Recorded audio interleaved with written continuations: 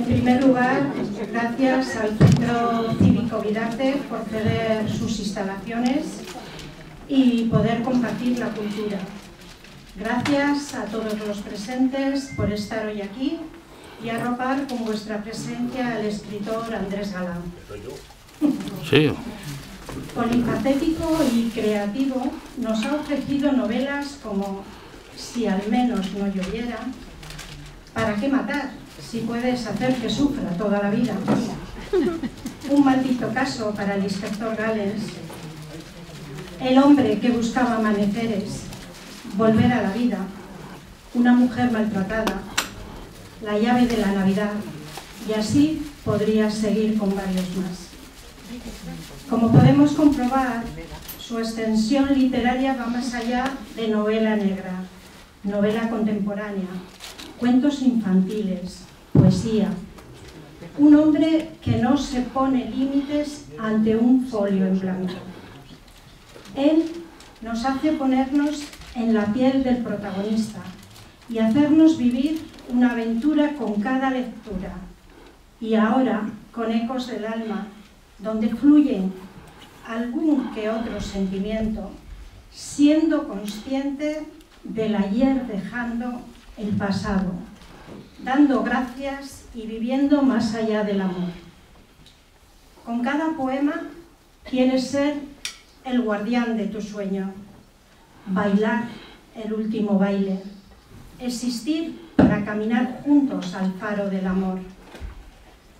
Podría, muy prontito, soñar y despertar solo contigo, ayudarnos con la lectura a cicatrizar las heridas del amor. Así no duelen tanto las ausencias y vivir con las emociones. La hora bruja. Allí, lo alto, escuchando el alma de montaña, siempre caminando hacia arriba. Observar desde la cima los horizontes del camino. Si no somos felices, ni un ramo de flores podrá restaurar el amor cuando suenan las campanas. Pero venceremos. Así es la vida. Estar al borde de la locura. Existir y poder decir al viento, sé que estoy vivo y que puedo continuar moldeando versos, ser tu sombra, estar aquí contigo, con todos, sin aliento, crear como el artesano consonantes y vocales, llegar entre la niebla a tus manos en un libro con olor a árbol viejo. Andrés, ¿qué te ha inspirado para escribir este poemario y por qué el título de Ecos del Alma? Luego te contesto. Vale. Ahora, de momento, te voy a dar las gracias porque ni mi abuela lo hubiera hecho mejor. Deciros que el hilo conductor que, que he podido para, para obsequiarle a Andrés son Ahí. 32 títulos que van dentro del poemario. Inspirar, eh, uy, uy. Es, es muy difícil porque eh, son demasiados temas. Lo que, lo que he venido haciendo desde el 2013, en enero me parece, cuando edité el primer libro de poemas, era Volver a la vida, pues he ido participando en decires, en recitales y cosas de estas, y poema que hacía, poema que pasaba al baúl de los recuerdos.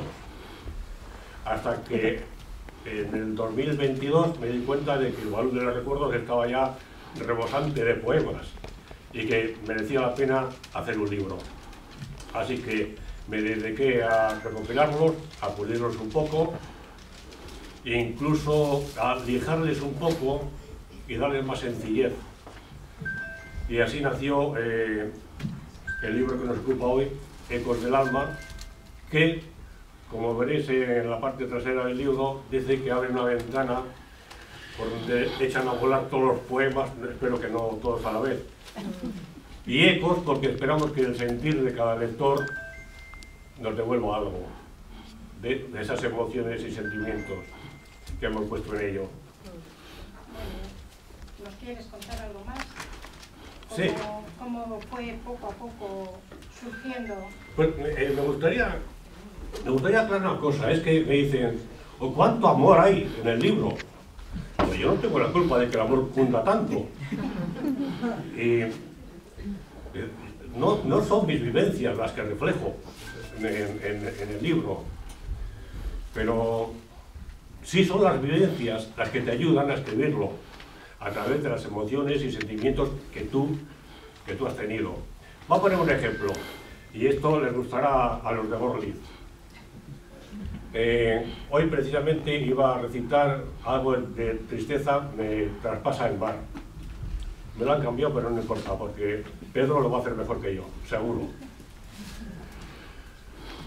¿Cuántas veces hemos paseado por la ribera del mar, de la playa, en Gorlitz, y tenemos ahí un hospital con gente enferma. Algunos nos miran, otros eh, están mirando cómo se divierten los demás. Y siempre se nos ha escapado un pobre gente. Entonces, se me ocurrió que podría ser un poema. Yo no he estado nunca en ese hospital. Por eso quiero decir que no son mis vivencias.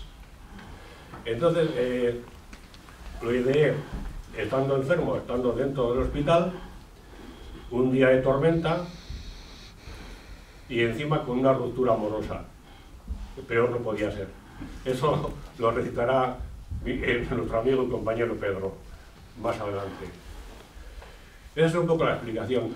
Luego después el libro está dividido en, en ocho temas, porque la poesía no solamente es eh, buscar cosas bonitas, musicalidad, son emociones, sentimientos, son gritos de libertad. Eh, es mm, expresar lo que tú sientes, lo que debería ser la sociedad. Hay eh, muchas cosas, bueno, podría citar a, muchos poetas, hablar de Otero, a, a, Miguel Hernández, que dejaron la piel y la vida por meterse con unos poemas tan, tan peligrosos. Bueno, y esa es la explicación un poco que quería, que quería dar. Vivencias, sentimientos, que ya a nuestra edad han sido bastantes. ¿Nos parece? Quizás por eso deberías empezar tú recitando algún que otro sentimiento para todos nosotros. Sí, me ha pillado un poco a traición, pero ahí voy.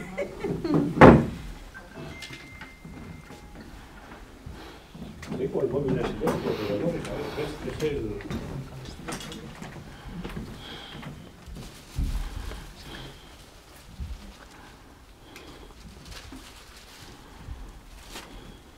algún que otro sentimiento. Deseo añadir al día algún que otro sentimiento, alguna explosión de amor, cuidados de jardinero, brisa alada, abanicando con arrebatado esmero, unos recuerdos que vuelven siempre al evocar tu aliento. Hay amores que se envuelven en distintas sensaciones, en la indiscreta armonía de los sentidos y afanes, en la locura del alma y sus audaces latidos, en el canto renovado de gorriones en sus nidos. Pervive en la contagiosa risa de todos los niños.